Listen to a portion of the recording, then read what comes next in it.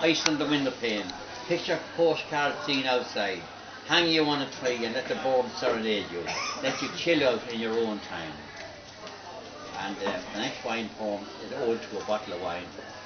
Uh, I don't write many odes. The only ode I ever wrote was to the credit union. You came, you, you, you came in bleak November, beguiling in that tantalizing pose, reeking of aromas, exotic hues and aging tones, and with a hint of green bobbing along on brilliant bubble flame. You put the sparkle back into my life, as taste buds that had lingered in the doldrums for decades began hitting the high notes again, and for a few golden hours I rubbed shoulders with the gods again, cradled vineyards in the palm of my hand, savoured the small talk and the gossip, immersed myself in the tang of earthy overtones, forgotten now the acres, the months of caste captivity, as you could have swayed through my desires, captivating all with that all-pampering presence. And so I give you this bedraggled ode, this tribute to Grand Closter and his kin. Time for the festivities to begin. Now, I just want to read some of my own poems on the The first poem, I have three poems in this little collection which is published by Lapwing in Belfast.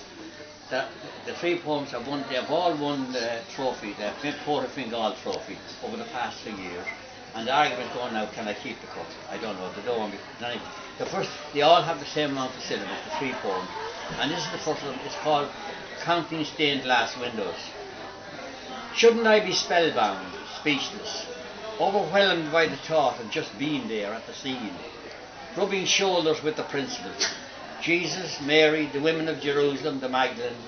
I shouldn't I be up there at the foot of the cross, watching, winching, instead of loitering on the periphery, between the final blessing and the Sunday game, the last pew and the porch, counting candlesticks and statues and stained glass windows.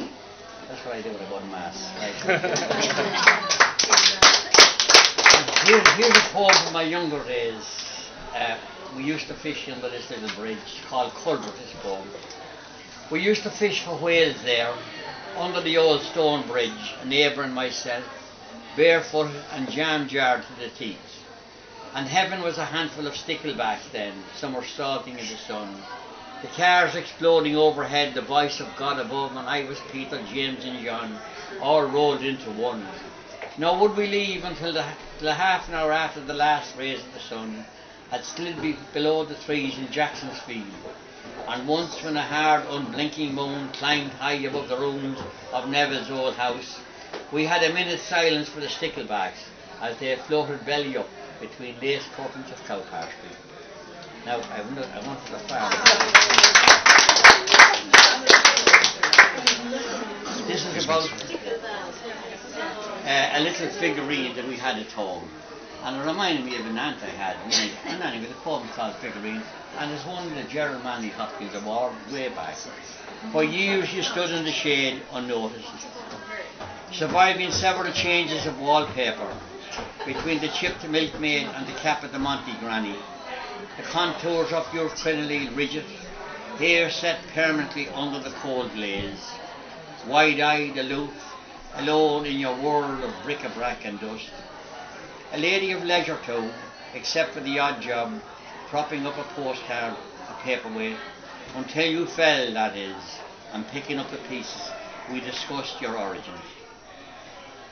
An arm here, a leg there, and the aristocratic head, still smiling, spent nail-biting hours tending your wounds, moved you out into the sunlight. Now we change the wallpaper to match your eyes, take you gently by the arm, load the dust from your shoulders, pull your leg.